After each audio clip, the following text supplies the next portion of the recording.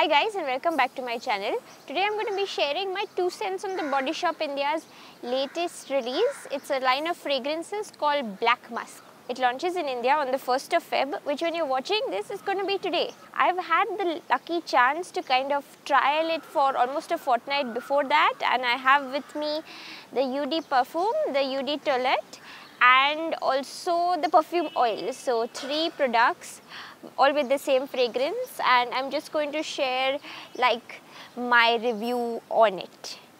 I think the Body Shop is very well known for being cruelty free and for their musk range of fragrances. Their first one called White Musk, I remember reading about it a long time ago. Whenever you hear the word musk in a fragrance, it's sort of many of us don't know what musk is, but it's an animal byproduct uh, from a deer and it's extracted in, of course, a very inhumane way and the deer has to die for that, for us to get musk. It's very expensive but it's also very cruel.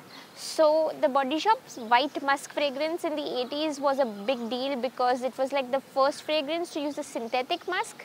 So you kind of get that the musk qualities in a perfume while at the same time it's completely cruelty free. And then there was a red musk fragrance launch that was I think just a few years ago and finally now we have black musk which is supposed to be the darkest and most sensual of the three. I really am in love with the packaging. I know I say this a lot but packaging is something that's very important to me. I think the packaging is extremely classy.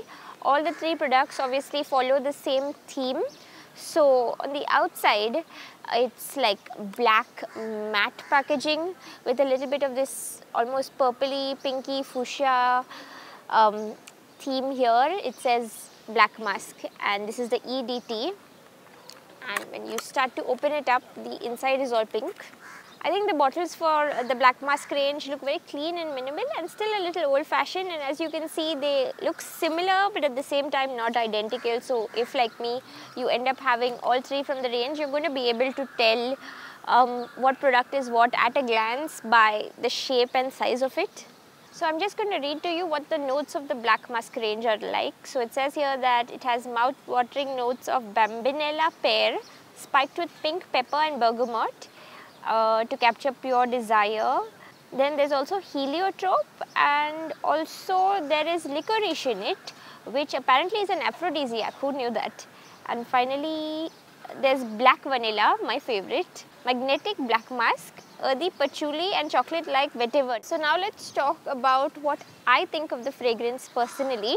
I think it's kind of difficult to talk about this part because it's so much easier for me to tell you why I like or don't like a lipstick or an eyeliner or something than to talk about fragrance. It's very subjective and it's just difficult to describe but I'm going to give it a try and if you have any questions as always let me know. So personally for me uh, when it comes to fragrances I don't like fragrances that are too girly, that are too feminine or sweet like sickly sweet. I hate that but I also don't like very deep and very masculine fragrances. I have used like men's fragrances in the past just because I didn't like women's ones that much but they too can get really heavy. So I like something in the middle. I like things that are a little bit woodsy, a little bit spicy. I love vanilla and fragrances. I still like there to be a little bit of feminine and a light note to the fragrance. So this is where it just hits the sweet spot for me because when I read about it, it, it said that it was the deepest and most sensual. I thought that it might be like too heavy and it might have like very spicy notes and all that but it does have those spicy notes but I think it also balances it perfectly with the sweetness, the lightness and the femininity if that makes any sense whatsoever. If you're wondering what's the difference between like the EDP, the eau de perfume and the EDT which is a eau de toilette, um, I also looked it up because I had a vague idea but I wanted to talk about it a little bit better. So when it comes to fragrances there are like four different levels of concentration in a fragrance. The most heaviest concentration in a fragrance is available in a perfume or parfum if we are doing French here. So that would be like the most expensive. Uh, then you have eau de perfume, EDP, which is what I have here. So that is the second most like heaviest concentration of fragrance.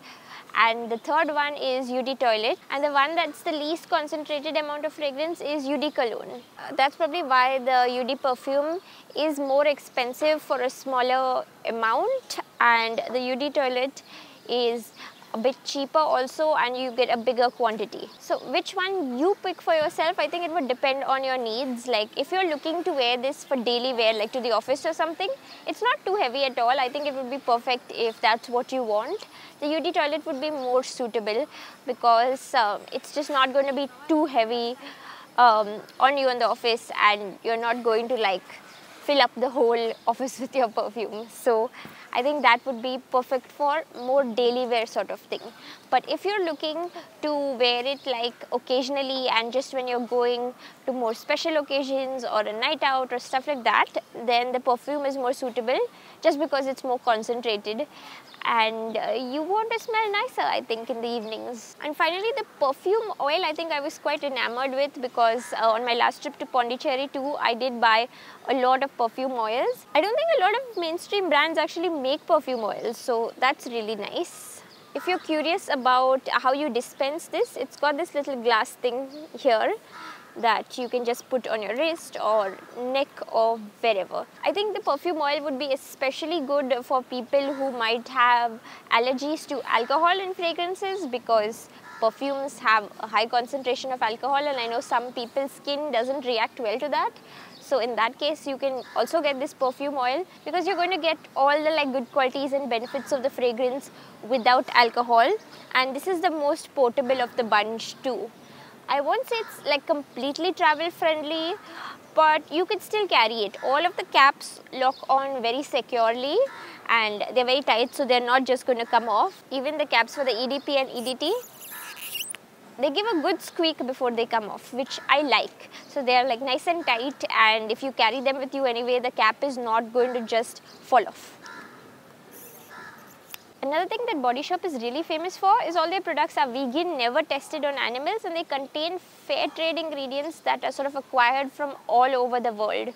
So in this one, the EDP and EDT, the alcohol is got from sugarcane. It's got from these farmers in South America and the way in which it's sourced allows the farmers to kind of protect the land as well as grow their business. So that's always a plus because I can shop guilt free from the body shop knowing that they have acquired the ingredients in a good way. That's all I have to say for this video. If you enjoyed it, please give it a thumbs up and subscribe to my channel. Thanks for watching and I'll see you guys next time. Bye.